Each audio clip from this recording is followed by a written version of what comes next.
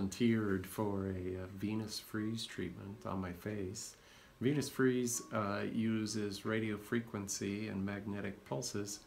The uh, radio frequency um, tightens the collagen that's already in the skin and stimulates the skin to build new collagen. The magnetic pulses, on the other hand, improve uh, blood flow and lymph drainage uh, to the skin, uh, giving the skin the building blocks, if you will, to build new collagen, but also leading just to overall healthier skin in general.